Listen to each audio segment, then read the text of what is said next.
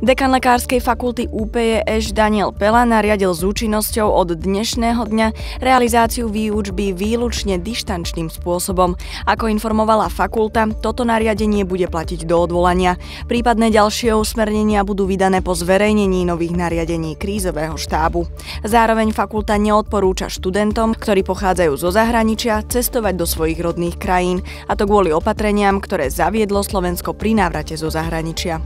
Do 21 septembra sa na fakulte uskutočnilo 7 hromadných odberov a otestovaných na COVID-19 bolo viac ako 1100 študentov.